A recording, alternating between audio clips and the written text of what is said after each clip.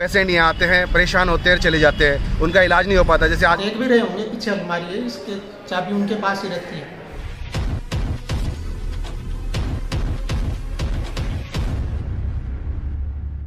ये है झुंझुनू ज़िले का उदयपुरवाटी अस्पताल जिसमें पहले की तुलना में अब इलाज के लिए काम में आने वाले संसाधनों में काफ़ी इजाफा हो चुका है।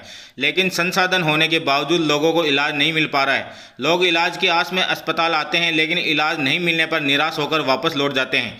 उदयपुरवाटी अस्पताल में दांतों की बीमारी का इलाज करने के लिए दो दो डॉक्टर हैं। दांतों की बीमारी का उपचार करने के लिए अस्पताल में संसाधन भी मौजूद हैं, लेकिन दांतों के दो दो डॉक्टर और संसाधन होने के बावजूद लोगों को इलाज नहीं मिल पा रहा है, जिससे दांतों की बीमारी का इलाज करवाने के लिए आने वाले लोग निराश होकर लौट रहे हैं।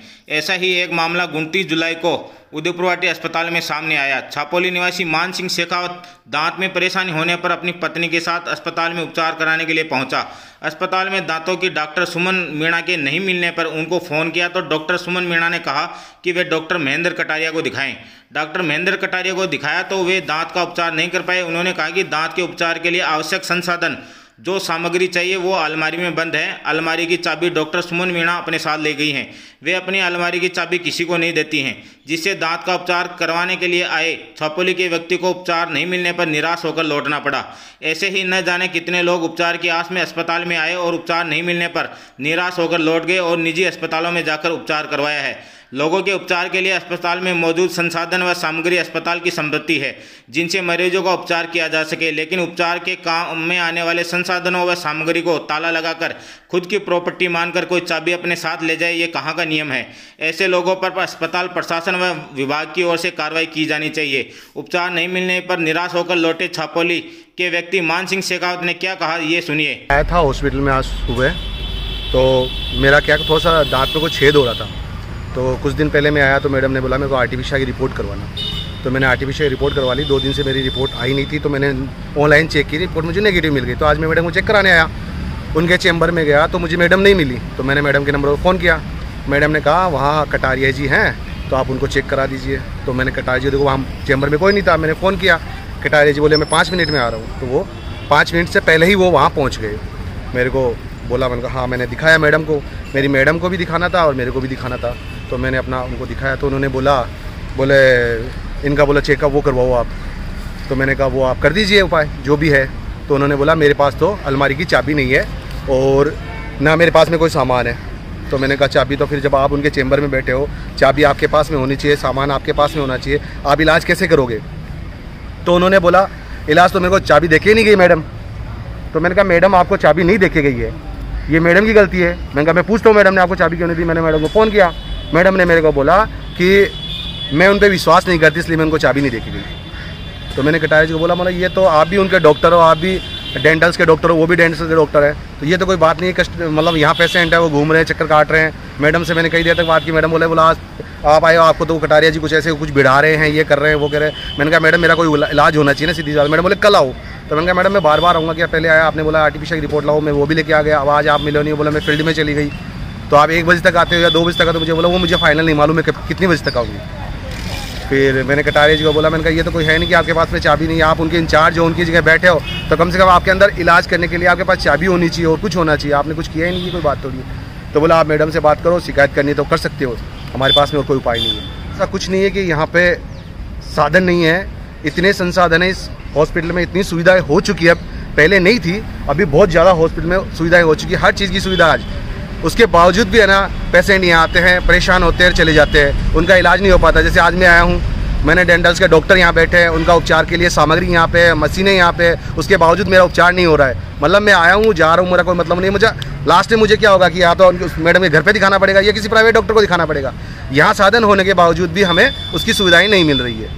इधर छापोली के व्यक्ति का उपचार न करने वाले डॉक्टर महेंद्र कटेरिया ने अपनी सफ़ाई में क्या कहा, सुनिए।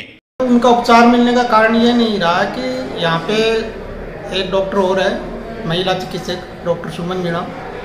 तो जो इंस्ट्रूमेंट वगैरह हैं, वो उनके पास हैं। उन्होंने क्या अलमारी की चाबी उनके पास ही रहती है। मैंने कई बार उनसे मांगा भी है, लेकिन वो अलमारी की चाबी नहीं देते हैं और अपने पास ही रखते हैं। तो आज जब वो पेशेंट यहाँ पे आया तो वो मैडम यहाँ पे नहीं थे, वो फ़ील्ड में गए हुए थे सेक्टर का उनके पास चार्ज है। इसलिए मैंने पेशेंट को ये कहा कि भाई मेरे पास चाबी नहीं है। जब वो डॉक्टर साहब आएँगे और मेरे को चाबी दे देंगे तो उनका इलाज कर देंगे। ये यहाँ पे सर जो इलाज करने का सामान है, वो यहाँ पे अलमारी में रखा हुआ है। आप देख भी रहे होंगे, पीछे अलमारी है, इसके चाबी उनके पास ही रहती है। मैंने उनको कई बार कहा भी है तो वो चाबी मेरे को नहीं देते हैं। मैंने कई बार कहा है मैंने कहा, पेशेंटों की दिक्कत आती है, आप चाबी लेके चले जाते हो। तो वो देते नहीं चाबी। इधर दूसरी तरफ़ दांतों की बीमारी के उपचार में काम में आने वाले संसाधनों व सामग्री को अलमारी में बंद करके चाबी अपने साथ ले जाने वाली डॉक्टर सुमन मीणा से पेशेंट बनकर फ़ोन पर बात की तो उन्होंने क्या कहा ये भी सुनिए। नमस्कार मैडम जी। हाँ नमस्ते। मैं तो यहाँ हॉस्पिटल आया हूँ मैडम जी। दिखाना है क्या आपको? हाँ। तो वो कटारिया जी हो मेरा मैं तो फ़ील्ड में फ़ील्ड में ड्यूटी तो। कटारिया जी को दिखाया था। हाँ। तो कटारिया जी का दिखा दिया कटारिया जी को। कटारिया जी कह रहे हैं मेरे पास साधन नहीं है मैडम तो साधन के जो है उनको अलमारी में बंद करके चली गई है। हाँ मैं उपचार किस चीज़ से करूँ? हेलो। हेलो। हेलो। हाँ। कटारिया जी ये तो कह रहे हैं। जी साधन पे साइन कर दे और दे देंगे। मैं भी मैंने भी साइन करके हॉस्पिटल से देखो कोई चीज़ आती है ना हॉस्पिटल में तो साइन करते हैं कि ये साइन करें अब मैं यूज़ कर सकती हूँ। वो साइन करके वो भी यूज़ कर ले। मेरी पर्सनल मेरा पर्सनल सामान थोड़ी ना हॉस्पिटल का है वो साइन करके यूज़ कर ले। और सबको बोलते फिर रहे हैं क्या वो कर रहे हैं वो? नहीं मैडम इसमें क्या पेशेंट को तो परेशानी होती है ना ये तो आपके स्टाफ की लड़ाई है। नहीं तो देखो मैं मैं पेशेंट को मैंने उनसे ज़्यादा पेशेंट किए हैं। उन्होंने एक भी पेशेंट का ट्रीटमेंट किया है क्या? पूछो उनसे। तो फालतू में हवाबाजी कर रहे हैं पेशेंट का वो कर रहे हैं। पूरे दिन बैठते तो नहीं है वो और एक पेशेंट नहीं किया उन्होंने। कह रहे हैं वो साइन करके ले ले मेरा पर्सनल सामान नहीं है हॉस्पिटल का सामान है वो ले लेंगे हॉस्पिटल से. दस जनों को चाहे बीस जनों को मैंने कोई दाब के तो रख नहीं रखा देखो सामान.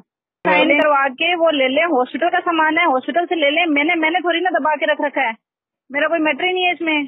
सबको बोलते फिर रहे ये कोई मतलब होता है क्या? रोज पेशेंट करती हूँ रोज बैठती हूँ दो बजे तक। आज नहीं हूँ बस। और वो रोज बैठते हैं नहीं उनको बातें आ रही है। ठीक है मैं मैं पेशेंट मैंने जितने किए हैं उतने तो उन्होंने किए भी नहीं है। आप बोलो कि मेरे को पेशेंट का जान है तो ऐसा नहीं है। ठीक है और उनको सामान लेना है उनको ट्रीटमेंट करना है तो वो इंचार्ज से बात करके साइन करके ले लें। मैंने मैंने कोई पर्सनल दबा के नहीं रख रखे हैं उनको लेने हैं तो वो ले लें। कुछ ही करे मेरी जान में वो।